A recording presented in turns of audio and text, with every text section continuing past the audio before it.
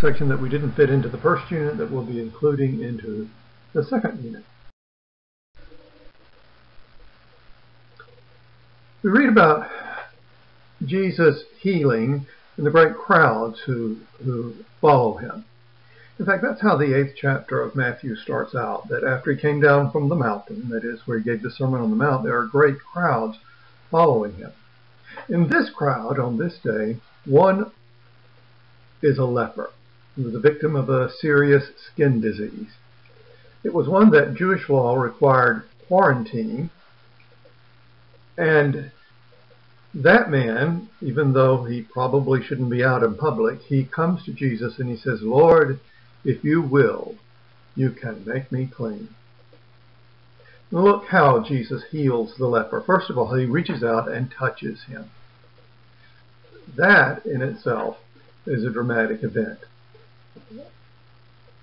Jesus then says, I will, meaning I am willing. I will be clean. And then his leprosy is immediately cleansed.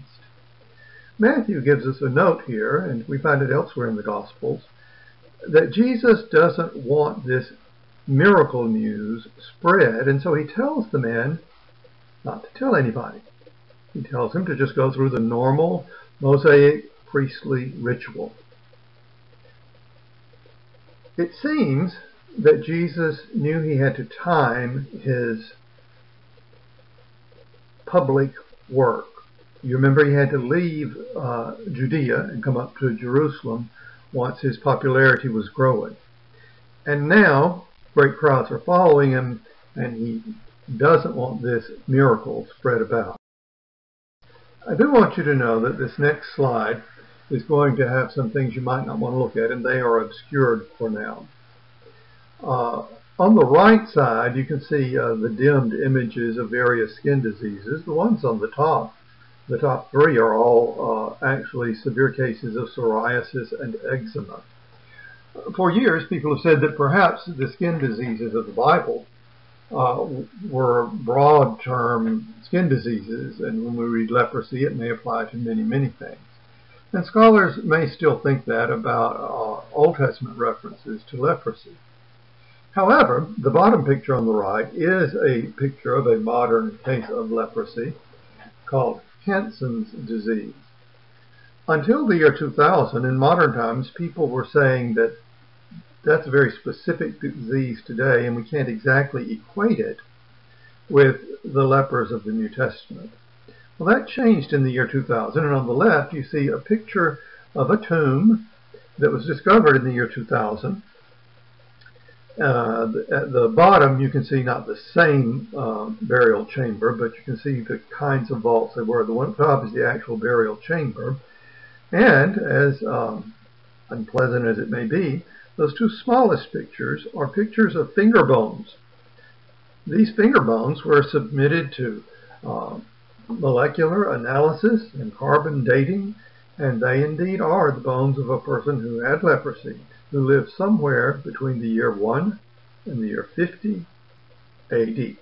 So there were indeed lepers in Judea, in that region, in the time of Jesus.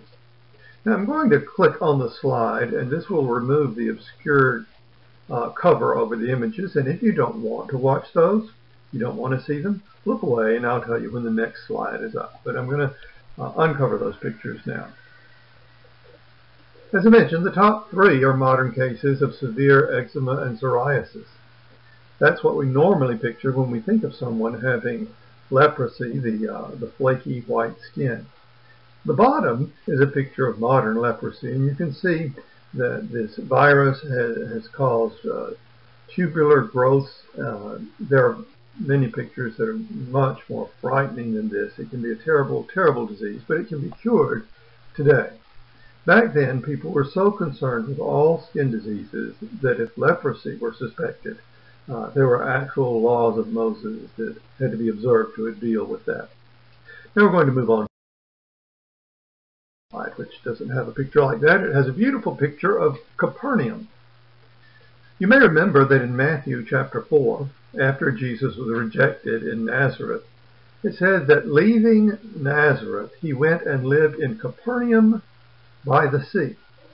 This is a picture of Capernaum by the sea. This, that is the Sea of Galilee. Uh, the um, octagonal structure that you see in the upper left quadrant is a church built over what is believed to be the house of Peter. At the near center of the picture is a synagogue with a sub-foundation that goes back to the time of Christ. This is where Jesus lived when he was seeking his public ministry. Well, it is a centurion in Capernaum who asks Jesus to perform the next miracle that we read about in Matthew. He has a servant that he cares greatly about, but he tells Jesus that he's unworthy for Jesus to come into his house. He recognizes that Jesus is a man of authority and he can do whatever uh, whatever he commands. Uh, a centurion would have been a Roman uh, officer, perhaps a non-commissioned officer, who would command a hundred. Jesus praises this man's faith. He says he hasn't found so great a faith in all of Israel. And he teaches that this represents uh, people who, in the Old Testament, were were shown to be faithful, and they, they weren't even the people of Israel. Uh, he says that he has great faith. Uh, it's compared to uh, the faith uh, that the Queen of Sheba had when she came to to see uh, Solomon. Uh, it's compared to uh, Naaman, who was healed, and he wasn't an Israelite. But Jesus is able to heal the manservant immediately. Jesus is living in Peter's house. You see at the bottom a picture of that structure that uh, I told you. There's a church built over it now, and uh, it is uh, this has an octagonal structure around it. it uh, there are all kinds of reasons to believe that it, it was the house of Peter. It's, it was a large house, some rooms as big as 23 feet by 21 feet. In this miracle, Jesus seems to be responding to a personal uh, need, not not just uh, making a point about who he is. Beginning in verse 14, when Jesus entered Peter's house, he saw his mother-in-law lying sick with a fever. He touched her hand, and the fever left her, and she rose and began to serve him. And then it tells that there were many, many people who came to be healed and it was a fulfillment of what Isaiah had said. Uh, he took our illnesses and bore our diseases. Jesus then teaches an important lesson on the demands of discipleship. Jesus saw a crowd around him, and he gave orders to go over to the other side. And a scribe came up to him and said, Teacher, I'll follow you wherever you go. And Jesus said to him, Foxes have holes and birds of the air have nests, but the Son of Man has nowhere to lay his head. Another disciple said to him, Lord, let me first go and bury my father. And Jesus said to him, Follow me and leave the dead to bury their own dead. Jesus says that following him will be demanding. He's going to cross over to a more deserted place across the Sea of Galilee. And so we pick up in verse 23. He got into the boat. His disciples followed him.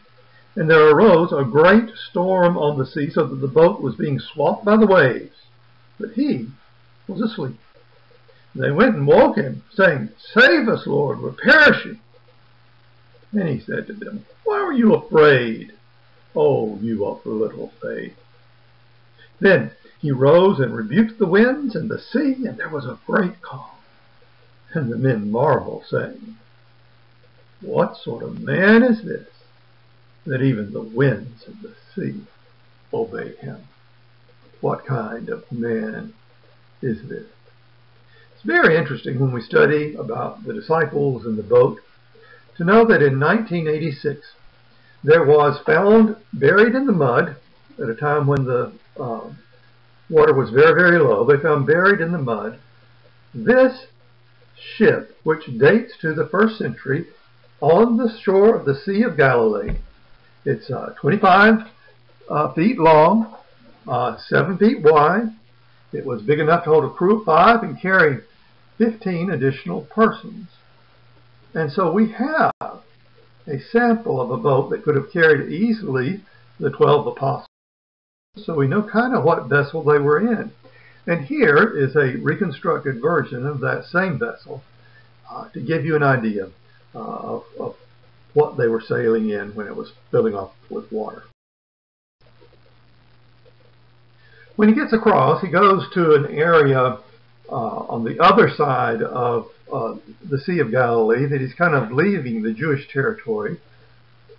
And there he casts out demons that are in two men who don't much want Jesus casting them out. So we pick up in verse 28. When he came to the other side, to the country of the Gadarenes, two demon-possessed men met him, coming out of the tombs, so fierce nobody could pass that way. And they cried out, What have you to do with us, O Son of God? Have you come to torment us before the time? The demons know who Jesus is, and they seem to know that it's not the time that he's going to completely overcome their their kind, the demons. And just as we've noticed that Jesus doesn't seem to think it's time for uh, him to be completely uh, well known in public. And so he agrees to something very odd. He agrees to let the demons enter a herd of pigs. They uh, ask him to put them in the herd of pigs, and the pigs go and jump into the water and drown. Well, the people who are taking care of the pigs obviously aren't Jewish. Jews don't raise pigs. Uh, they run, afraid, tell everybody about these demon-possessed men who are now uh, healed. And everybody comes out to Jesus, and they are so overcome with the miracle that they just they just beg him to, to leave their region. Moving into chapter 9. Jesus performs a healing. People bring a paralyzed man to him. Now notice it says he is in his own city, that is, Capernaum is his home now. And the first response he makes to the paralyzed man isn't about his paralysis. He says, Your sins are forgiven. Again, Jesus is taking control of the situation for his own purposes he tells us that he is using the healing to show that he can forgive. There are some scribes in the crowd, and Jesus knows what they're saying among themselves. And that is, it's blasphemy for a man to say that he forgives somebody. And so Jesus knows their hearts and he challenges them. He says to those skeptics, which is easier, to say, walk, or to say, you're forgiven. Obviously, if, if you tell someone to walk who's never been able to walk, you've done a miracle. If you tell somebody they're forgiven, there's really no way you can determine if that's true or not. So he tells the man to get up and walk, and he does. Immediately cured. Jesus says that he does the miracle that you may know that the Son of Man has authority on earth to forgive sins.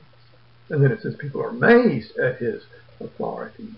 So now Jesus is saying that the reason he's doing the miracles is to draw, is to draw attention to the forgiveness that he's authorized to. Next we run into the calling of Matthew. Most people are familiar with the calling of the, uh, the fisherman. Matthew is a tax collector, evidently, for the Roman Empire, uh, and evidently in Capernaum. The tax collectors were looked down on. not just because people didn't like to pay taxes, but they particularly did not like to pay taxes to the Romans. And the Roman system was pretty much you got a certain amount of taxes to collect, and whatever more you can get out of them, you can keep. So, when Matthew gives a banquet with his associates and Jesus comes to it, Jesus is criticized by people who say, What kind of holy man is that sharing meals with the tax collectors and sinners? And Jesus answers them with a lesson that we all need sometime. When he heard it, verse 12 of chapter 9, he said, Those who are well have no need of a physician, but those who are sick. Go and learn what this means. Then he quotes the prophets. I desire mercy and not sacrifice. For I came not to call the righteous, but sinners. A lesson for all of us to be like Jesus, to see where our mission is.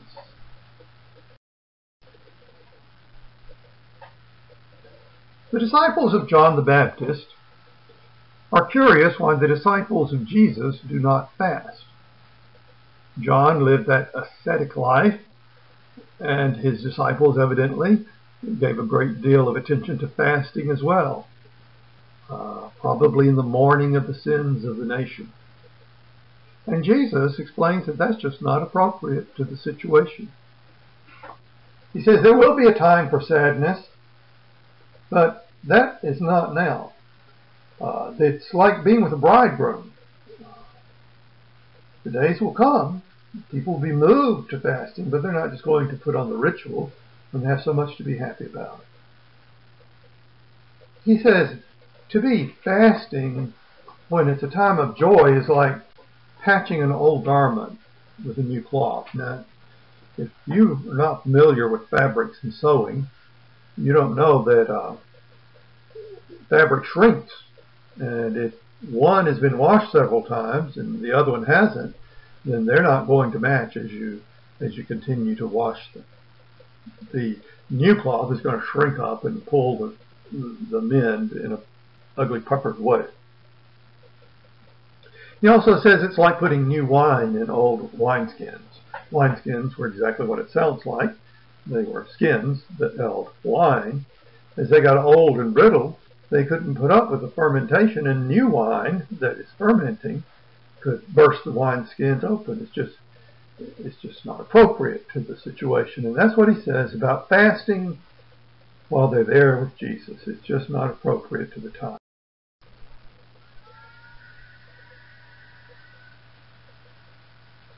None of the four gospel writers pretends to tell all the works that Jesus did. In fact, John tells us the world couldn't hold the book if you wrote down every good thing Jesus did. But in chapter 9, Matthew has a section where he's just showing miracle on top of miracle. There is a synagogue official who requests that Jesus raise his daughter from the dead.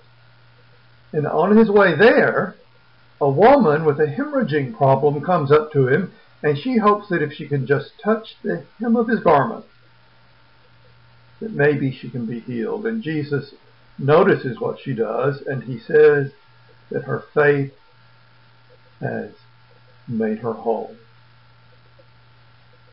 Well, Jesus goes on to do the miracle that he was asked to do.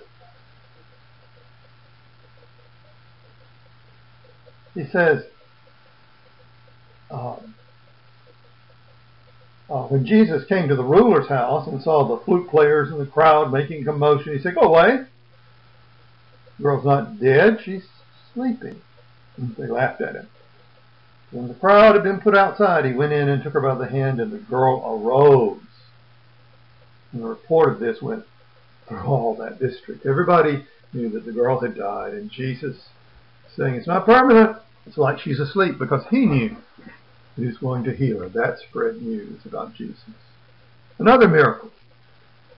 He encounters a mute, demon possessed man and he heals him. Some are amazed, but others are beginning to object.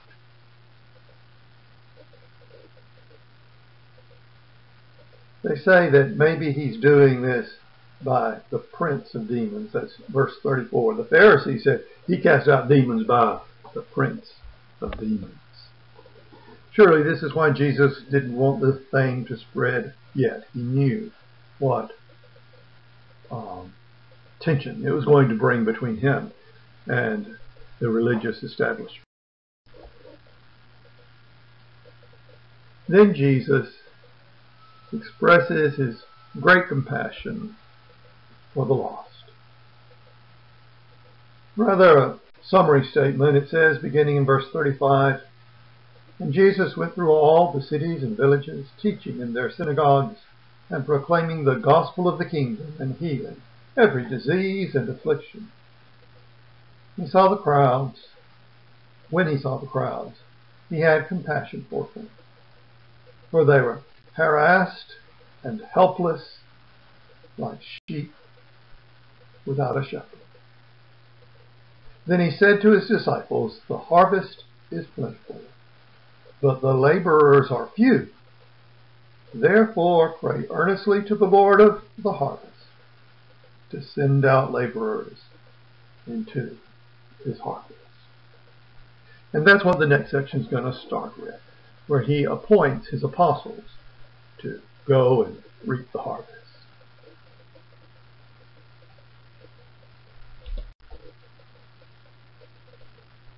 Well, before we go there, I want us to make a chronological note. As you put together the different accounts of the four Gospels, they seem to come together at this point so that what we read about in John chapter 5 matches what we're reading in chapters 8, 9, and 10. Here's how we figure that Jesus had a public life of about three years. There was a period before that first full year where he had a fairly private ministry, the stuff that John records up before chapter 2 and verse 13. And then in chapter 2 and verse 13, we have that first cleansing of the temple that John tells us about and the others don't. And it says that was at Passover. Well, Passover comes once a year. When you get to chapter 5 and verse 1, which we're about to look at, it says that he's gone to Jerusalem again for a festival, very likely being another Passover. So a year has passed between John 2.13 and John 5.1, so he begins his second year at this point that we're going to pick up. And John then gives us another marker of a Passover just a chapter later in chapter 6 and verse 4 where he's feeding the 5,000 and that also is at Passover. Now the last year uh, has more details in John. The feeding of the 5,000 is in the Passover, in the spring. He makes another trip to Jerusalem at the Feast of Tabernacles, which is in the fall. Another at the Feast of the Dedication, which is in the winter.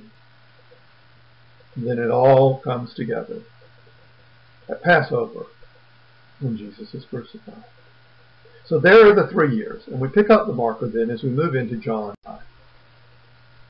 This is an interesting healing uh, in that we have uh, a place I'd love to see, the Pool of Bethesda. There were a number of pools all around the Jerusalem temple, and there are remains of many of them that have been uncovered. It was considered only appropriate if one were to enter the, the sacred precincts that you would uh, clean up, certainly wash your feet, uh, probably immerse yourself in water to get completely clean before you would actually go into the temple precincts. One of these pools was a rather large one, at Bethesda. It's described in great detail, and uh, most uh, scholars would agree that we know where it was. Uh, the picture you see is looking down into the pool. Uh, over the uh, last 2,000 years, a number of things have been built on top of each other, uh, including a church that is partially over this pool. But you can look down and you can see by the descriptions in the text and and you can see by what's there that this was a very large pool. And we're told that there's this 30, this man who has for 38 years been lame all his life, and he waits by the pool because he's expecting a miracle. Now, he seems to have believed a story that um, the Bible doesn't endorse, but that would seem to be what he believed. And uh, he believed that if an angel came down and stirred the water, the first one in could be healed. But he doesn't have anybody to put him in the water, and he can't walk. And Jesus comes and offers to heal him, and it's on the Sabbath. Well, the Jews criticized the man and they criticized Jesus harshly for working on the Sabbath. And Jesus says he's working because his Father is working in the miracle. Now there's a very important note at the end of this section. It says that the Jews intensify their efforts to kill him for claiming God as his Father, this special relationship. Now we'll look more closely uh, in, the, in another uh, session at the claims that he makes about uh, his relationship to the Father. But understand he's had this public life of a year. There's another year that's going to continue. But in that time, he has people who are out to kill The fifth chapter of John, particularly beginning in verse 19, is an important theological passage, more particularly an important passage for Christology, the study of exactly who Jesus is. In John chapter 5, in response to the challenges that Jesus should not have healed on the Sabbath, Jesus begins explaining his claim to be equal with God. This is an early claim. It grows clearer later. There are many references to plots that begin to develop to kill Jesus. Uh, if we could skip ahead for just a moment to John chapter 10, you can see uh, a point at which it's grown very clear that uh, this is what is provoking people to want to get rid of Jesus. Go to John uh, chapter 10 and verse 30. Jesus says, I and the Father are one. The Jews picked up stones again to stone him. Jesus answered them, I've shown you many good works from the Father. For which of them are you going to stone me? The Jews answered it, It is not for a good work that we're going to stone you, but for blasphemy, because you, being a man, make yourself God. This was their complaint. If Jesus were making a false claim to be God, you could understand their opposition. Even today, you know that there are those who take such offense at some challenges to what people believe to be divine that they would kill over it. It was certainly true for the claims that Jesus made. And as you develop your Christology, your understanding of who Jesus is, you need to take seriously these claims that John records of Jesus claiming an equality with God. It makes all the difference in what the gospel means to you. Back to our immediate text. Based on um, Swindoll's writings and others, uh, I put it into a short outline of what Jesus is saying in verses 19 through 29. These, of course, are not the exact words of Jesus, but this is put this way to help you see what startling claims Jesus is making. He claims, I'm equal with God. He claims, I am the source of life. I am the final judge. I will raise the dead. If you heard an individual saying those things, you would find it startling that any person would claim to be able to do such things. Back to verses 19 and 20. The argument that Jesus is making, if you'll look in your text, is that he's not doing things as himself. He sees what God is doing, and he does what God does, and God shows him what to do, and he's going to do even greater works than they've seen. So he claims an equal level with God at that point. Now, listen to how he also equates himself with God in verse 21 of John chapter 5. For as the Father raises the dead and gives them life, so also the Son gives life to whom he will. Again, putting himself on the same level as God. He goes on to say that God has actually made Jesus the final judge. Verse 22, and he's connecting this with uh, giving life and death, eternal life and death.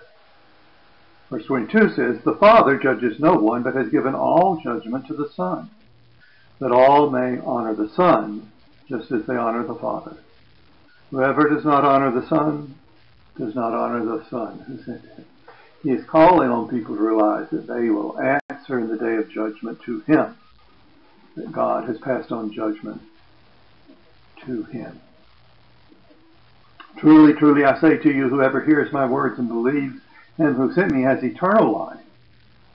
But he who does, does not, he does not come into judgment, but has passed from death to life. He's saying all the difference for eternal life is whether you believe me or not.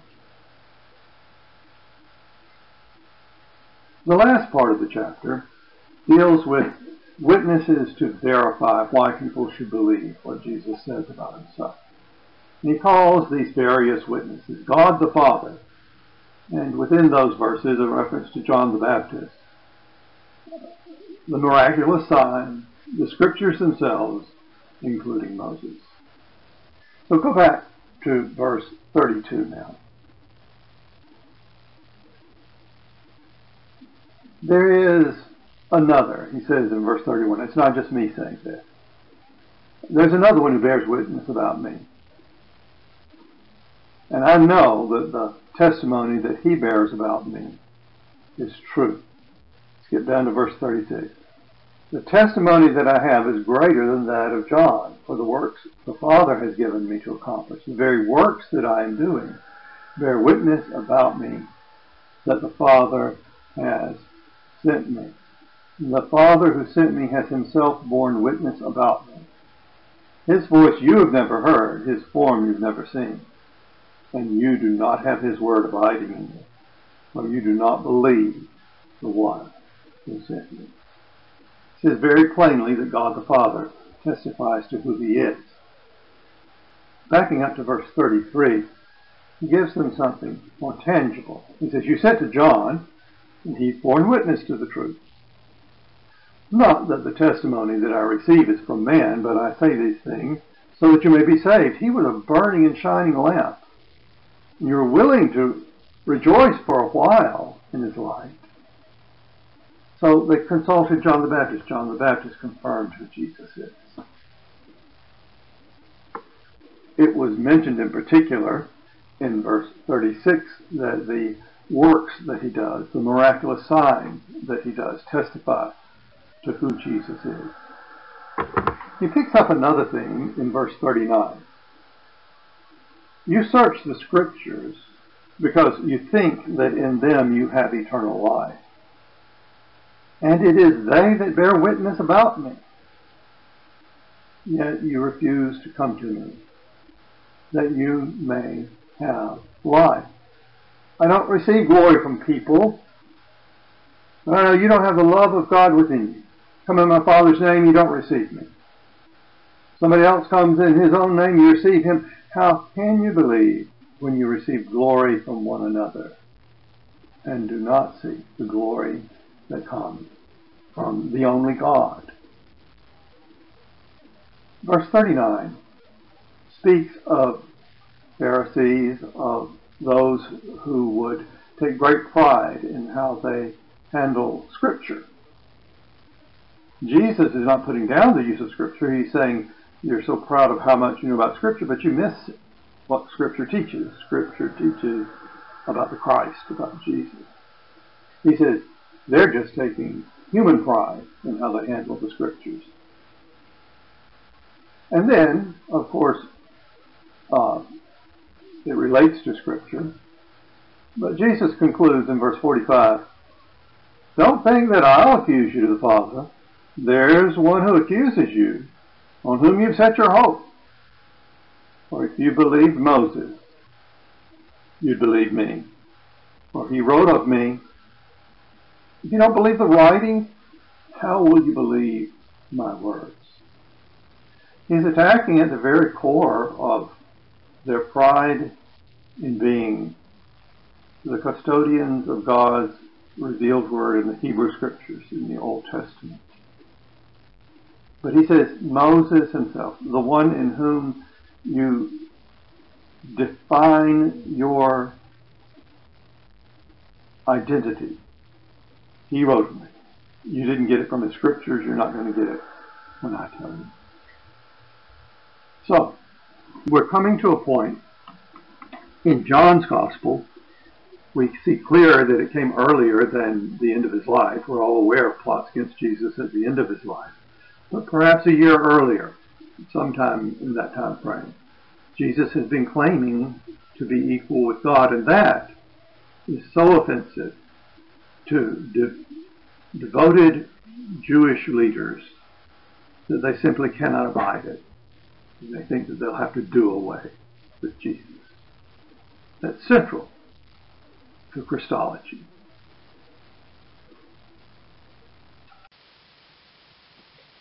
In Matthew chapter 10, Jesus commissions his apostles to go out and represent him in spreading the gospel.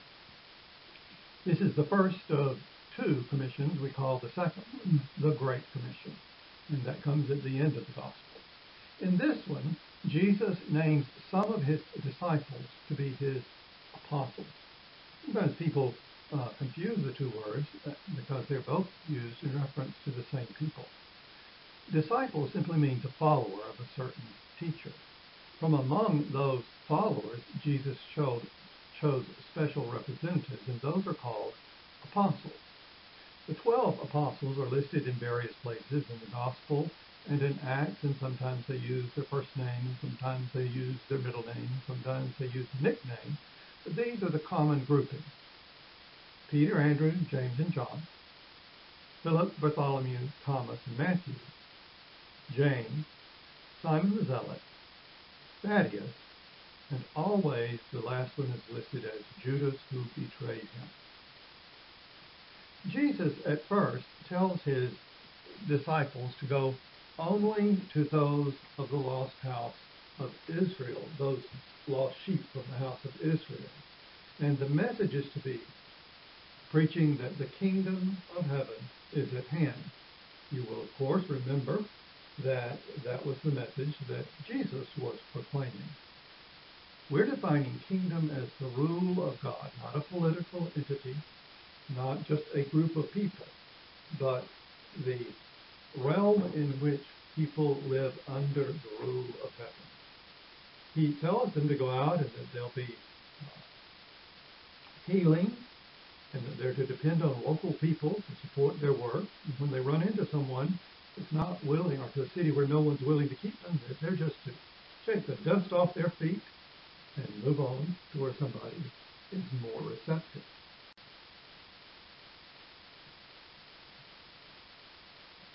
As he sends them out, he tells them that it will be challenging for them to do what he is requesting of them.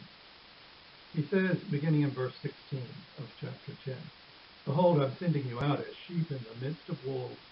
So be as wise as serpents and as innocent as doves. He tells them that they can be they can expect to be taken to court and even to be scourged, which is the absolute worst form of beating you can imagine. He tells them that they can expect that opposition will come from the local synagogue and governments will oppose them. But what he tells them to do in that circumstance is to let the Spirit tell them what to say in their defense. In other words, you don't have to worry about these trials. God will, in a very special way, give you what you need to say when those trials come up. And then he says something that's quite challenging. He says to expect opposition to come even from within your own house. But his message to them is to just keep on going until the Son of Man returns. It is a sad truth that when people bring change, other people resist. If you're changing within your family, people within your family will resist. If you're telling a synagogue that something new is happening, they'll want to keep the old. If you're making change in society, the government will see what's going on. And they are told that this bringing in the rule of God will be such a radical change that it'll be threatening to all these parts of society, and that will make their work a challenge. Then he tells them to stand up bravely or whatever challenges they may face. Verse 24 A disciple is not above his master, nor a servant above his teacher, nor a servant above his master. It's enough for the disciple to be like his teacher, and the servant to be like his master. They call the master of the house Beelzebul. How much more will they malign those of his household? So they're calling Jesus names. They're saying that he uh, cast out demons by the prince of the demons that they call Beelzebul.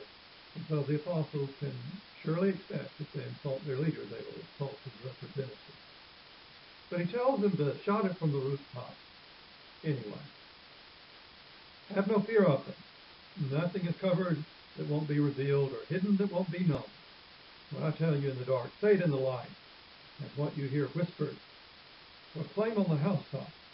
Don't fear those who kill the body but can't kill the soul. Fear him who can destroy both soul and body in hell. Aren't two sparrows sold for a penny? Not one of them falls to the ground apart from your father. But even the hairs of your head are numbered. Don't fear. You're more value than many sparrows. So go on, shout it from the rooftop. Don't be afraid. Yes, they can threaten you, but God is the one you need to fear. The Father who notices every sparrow. As the very hairs of your head number. He is watching very closely for you. Then Jesus begins to say which people are his people. He's going to claim or disown people in the end in front of the Father in heaven. And so, very important two verses, verses 32 and 33. Jesus says, So, everyone who acknowledges me before men, I also will acknowledge him before my Father who is in heaven. But whoever denies me before men, I will also deny him before my Father who is in heaven. We say that everyone who's going to be saved must confess Christ. This person uses the word acknowledge him. That is, claim to belong to him. And after warning the apostles that many people will reject them, he says, So are you going to claim to be mine anyway? If you do, I'll stand up for you on the last day. I'll claim you as mine. And then he adds the negative. But if you deny that you belong to me and you're with people, then when you stand before the Father in the end, I'll deny that you belong to me. He continues to build on the challenge of being a disciple. But in the process, he says that he's going to claim those as his own who put him first. And he warns them that loyalty to him is going to disrupt some families. Do not think that I've come to bring peace to the earth. I've not come to bring peace, but a sword.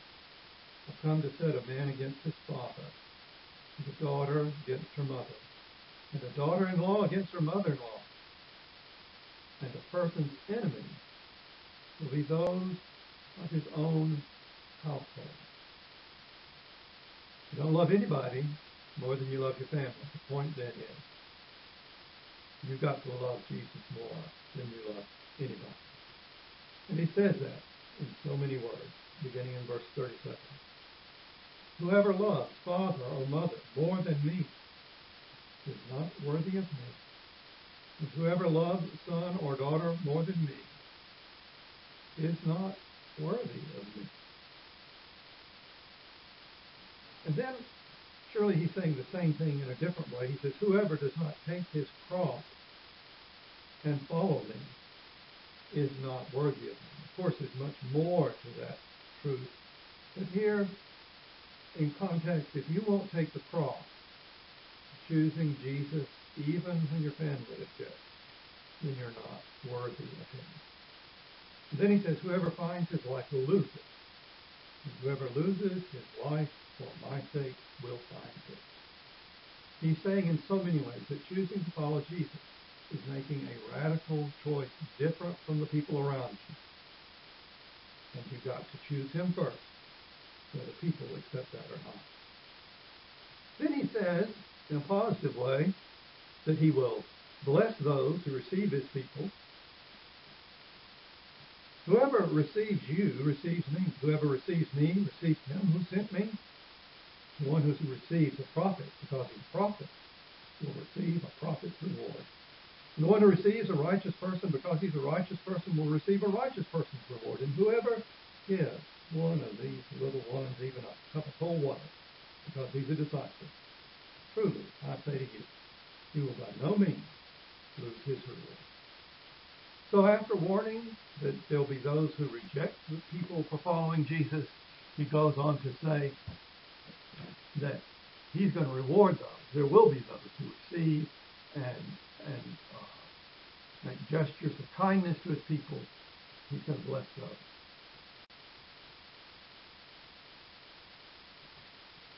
As we've read before, Jesus has come into more prominence and is making more disciples than John the Baptist had been making. And John the Baptist has now been put in prison by Herod. John seems to have grown um, depressed, doubtful. Uh, he's sending out word to Jesus.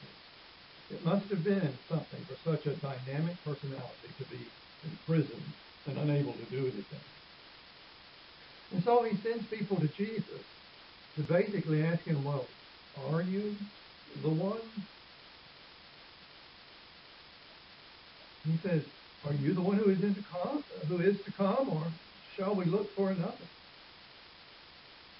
And he sends back a message to his forerunner, his cousin. He sends the message, you tell John about the miracles I'm doing. You tell him how I'm preaching to the poor. And that is the message of saying, yes, I am the one. And then he pronounces a blessing on those who are not offended by me. So I guess even John has his doubts. And in spite of the miracle, and perhaps because he's reaching to the underprivileged, to the poor, he knows that some people are not going to like the way he is. Blessed are those who are not offended by me. He's going to expand on that thought as he talks about John the Baptist. So he tells the crowd about John the Baptist. What'd you go out in the wilderness to see? A reed shaken by the wind? What then did you see? A man dressed in soft clothing? Look, those who wear soft clothing are in king's houses. What you ought to see? A prophet. Yes, and I tell you, more than a prophet. This is he of whom it is written, Behold, I send my messenger before your face, who will prepare your way before you. Truly I say to you, among those born of women, there has arisen no one greater than John the Baptist. And the one who is least in the kingdom of heaven is greater than he. So he's honoring the mission of John the Baptist. He says this isn't just any prophet. This is the one who's going to prepare the way for the Lord to come in and set up his rule, his kingdom. And he recognizes and emphasizes that John was not the fancy kind of preacher that they were looking for. But he says they're as good as they get this side of the kingdom. He's making two points that John the Baptist was leading into the kingdom and what a blessing it will be for all of us who can be in the kingdom. And he's saying he is the ultimate prophet predicting the coming of the kingdom, as opposed to Jesus, who is announcing now the kingdom is being set up. He goes on and talks about other people's attitudes about God's kingdom. There were many mistaken ideas of what that would be. He says, from the day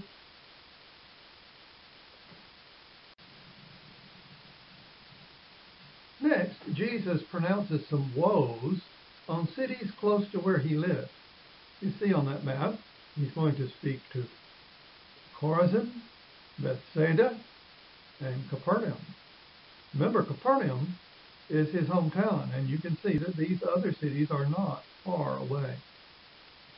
He pronounces woes on them. That is, uh, doom is coming your way, beginning in verse 20. Then he began to denounce the cities where most of his mighty works had been done because they didn't repent. Woe to you, Chorazin! Woe to you, Bethsaida! For the mighty works done in you had been done in Tyre and Sidon, those are Gentile cities. They would have repented long ago in sackcloth and ashes. But I tell you, it'll be more tolerable on the day of judgment for Tyre and Sidon than for you and you. Capernaum, Will you be exalted to heaven? You'll be brought down to Hades. For if the mighty works done in you had been done in Sodom, it would have remained until this day. But I tell you, it'll be more tolerable on the day of judgment for the land of Sodom than for you. Well, these people lived around Jesus. They saw his miracles and they still didn't repent. Sodom, that city that God destroyed for great wickedness with fire from heaven.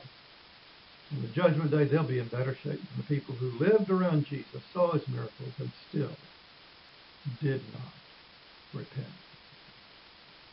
Then Jesus turns to a prayer, recognizing the rightness of God and allowing things to be the way they are. His thanks to God seems to be thanking God for leaving his wisdom to people who are open and not to those who are proud. At that time, Jesus declared, I thank you, Father, Lord of heaven and earth, that you have hidden these things from the wise and understanding and revealed them to children.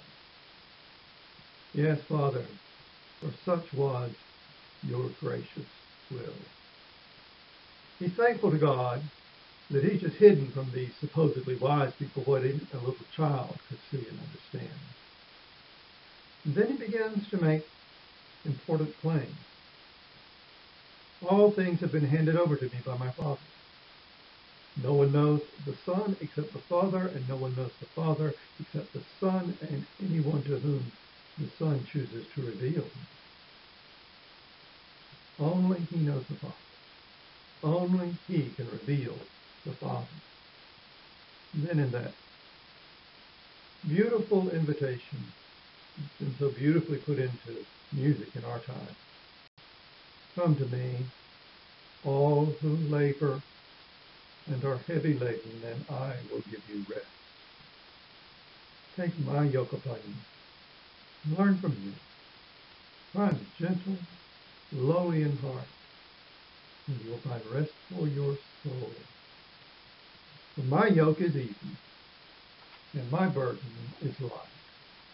So, in something of a conclusion to all of his challenges that it will be demanding to be his disciple, he then ends up saying that his burden is light, relatively, compared to the burden that people carry from their everyday labors and their personal burdens. He will give rest. That beautiful phrase, rest for your soul. His yoke, it is a yoke. You're bound in service to him. But it's a light burden compared to the burden of a troubled soul.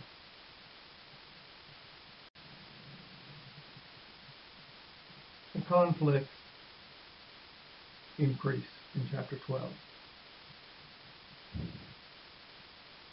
The conflict seems to focus on the Sabbath.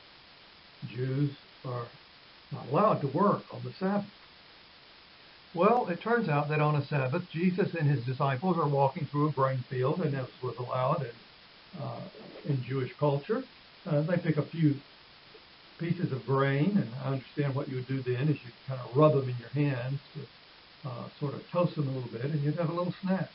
Well, the Pharisees who are out to uh, get Jesus, they say, look, your disciples are doing what it's not lawful to do on the Sabbath.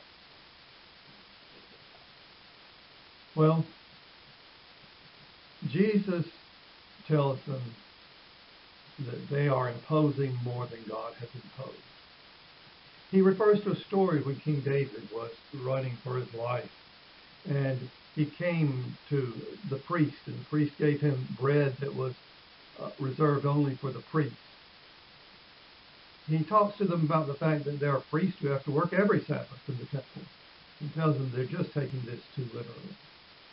Then he makes a claim that must have been shocking to them when he talks about the priests in the temple in verse 5 of chapter 12. Haven't you read in the law how the, on the Sabbath the priests in the temple profane the Sabbath they're guiltless? I tell you, something greater than the temple is he. He's talking about himself. Remember when he cleared the temple, according to uh, early chapters in John, that he said, Destroy this temple and I will raise it up in three days. He's speaking of the temple of his body, and now he's saying he is greater than the temple. And then he goes back to the prophets again with these Pharisees. And if you had known what this means, I desire mercy and not sacrifice, you would not have condemned the guilty.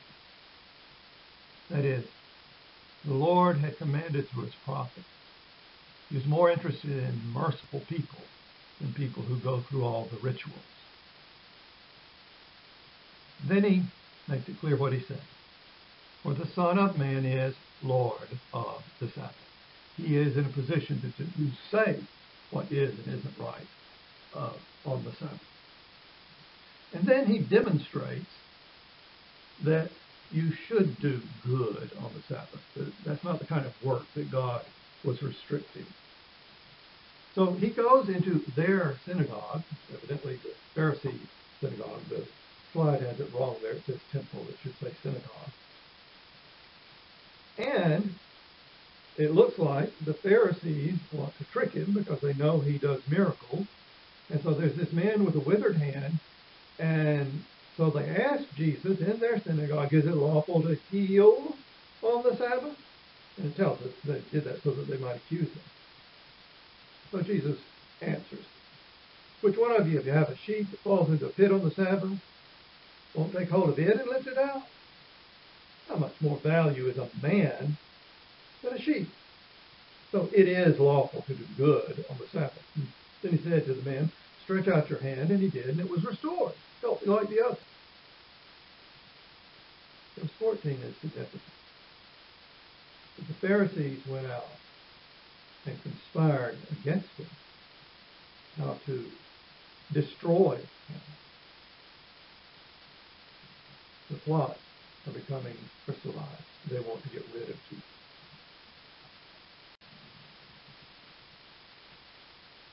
Jesus would prefer not to be as much the center of attention at this point in his public life, evidently. And we see that he wants to quietly heal people.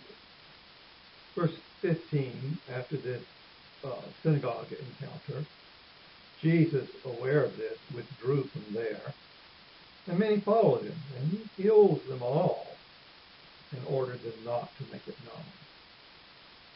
This was to fulfill what was spoken through the prophet Isaiah.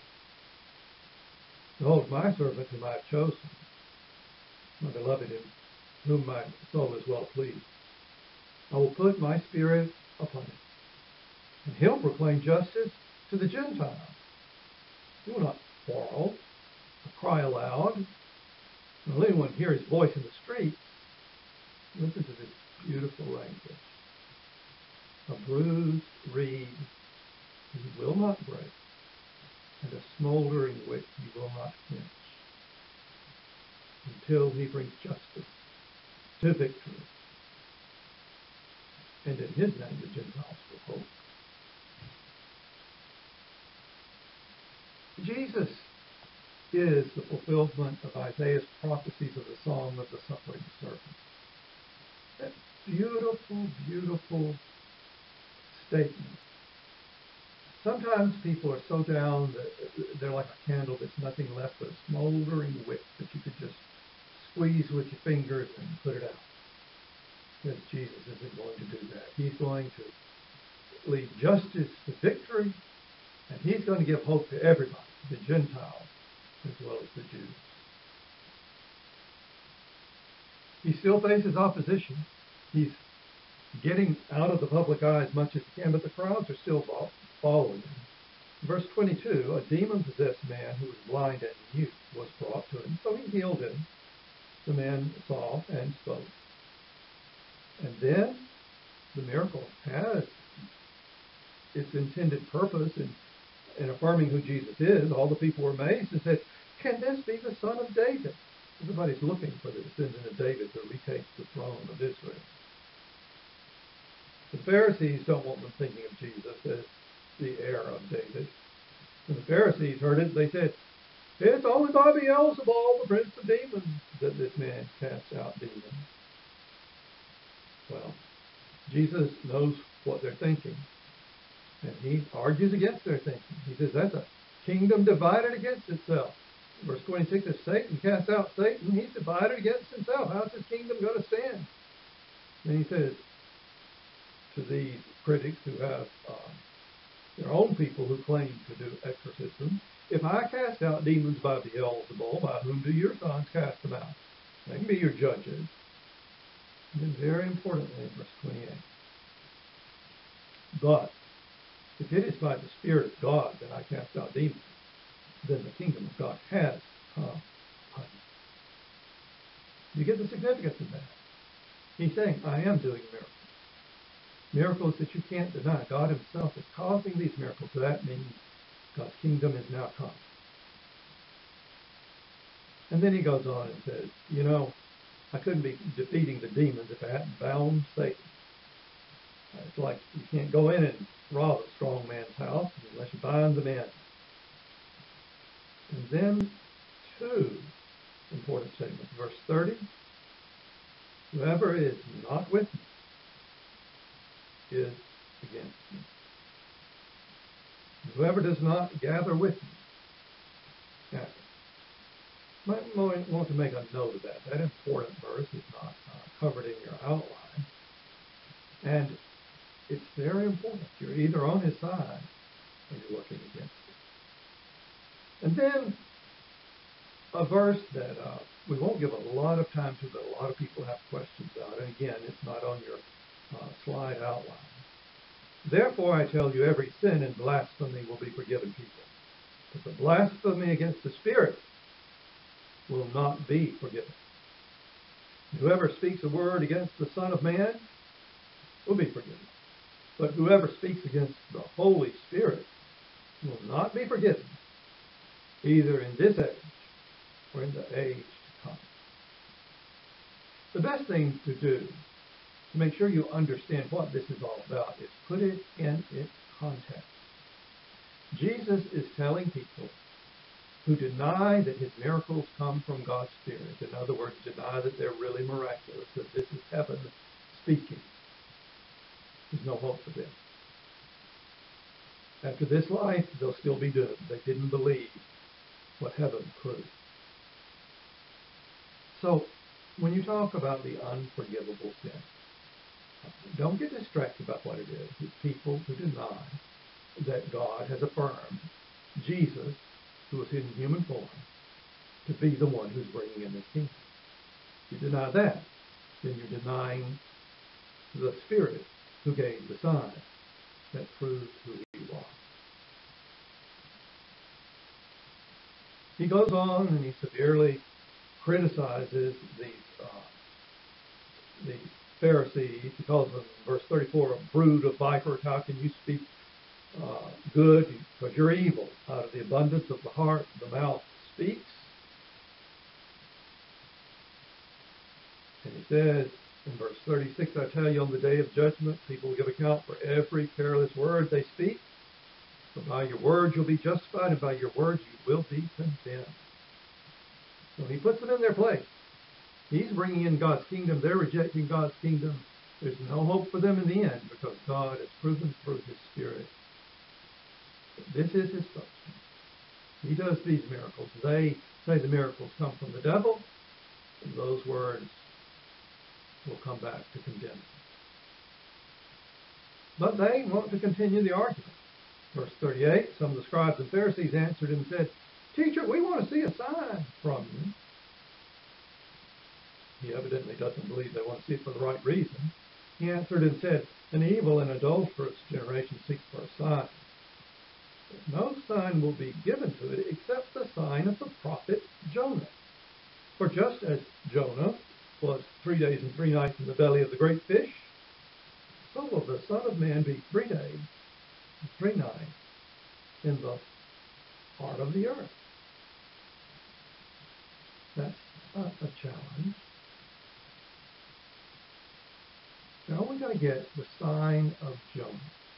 So Jesus connects his burial and resurrection, being three days and nights inside the earth, to the three days that Jonah was inside the great fish in the in the, in the whale. That's going to be the ultimate sign, his resurrection. And then he condemns them. He tells them they're foreigners that responded to God better than you people do. The men of Nineveh will rise up at the judgment with this generation and condemn it, because they repented at the preaching of Jonah. Something greater than Jonah. Queen of the South will rise up at judgment with this generation and condemn it. For she came from the ends of the earth to hear the wisdom of Solomon, and behold, something greater than Solomon is here. He's saying they'll be condemned if they don't believe. Once the resurrection comes, they'll believe that he is who he says he is. There's no hope for them. Why? The pagan people of Nineveh repented when Jonah preached to them. The foreigner queen of Sheba was impressed with the wisdom of Solomon, and Jesus makes the claim that he is one greater than Jonah, greater than Solomon, and they're rejecting him. In verses 43 through 45, he uses an interesting illustration to talk about these people are just making more room for evil.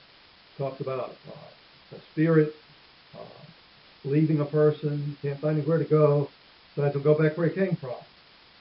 And all that person has done is empty himself of the evil spirit and everything connected with him.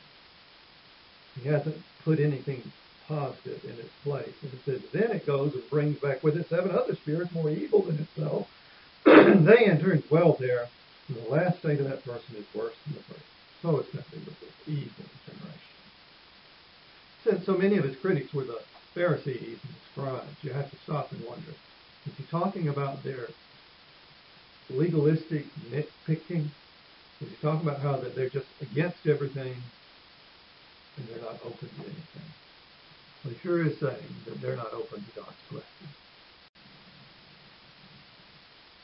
the end of chapter 12, Jesus pulls together some of this that he's been talking about. We started with him talking about who his people are as he appoints his uh, apostles. And then he tells them that there'll be disturbances within families, and he says you've got to love him more than family to be his followers. Then at the end of this section, the actual physical family, the natural family of Jesus, shows up. While he was still speaking to the people, behold, his mother and his brothers stood outside, asking to speak to him. There's some interesting details in that verse. First of all, he has brothers. We assume those are the half brothers of Christ, other children of either Mary and Joseph, or perhaps children of Joseph by an earlier marriage. But he has some half brothers who are with his mother, and they're on the outside. They have to actually send someone in to see if they could talk to Jesus. And his reply is not what you would expect. He replied to the man who, who told him, Who is my mother and who are my brothers? Stretching out his hand toward his disciples, he said, Here are my mother and my brothers. So whoever does the will of my Father in heaven is my brother and sister and mother. That's sad to read if you're the family of Jesus. But if you're the follower, then you're greatly honored that he recognizes you as his family. Jesus is demonstrating the ultimate loyalty that he requires of his disciples. The relationship between Jesus and disciples surpasses even family relationship.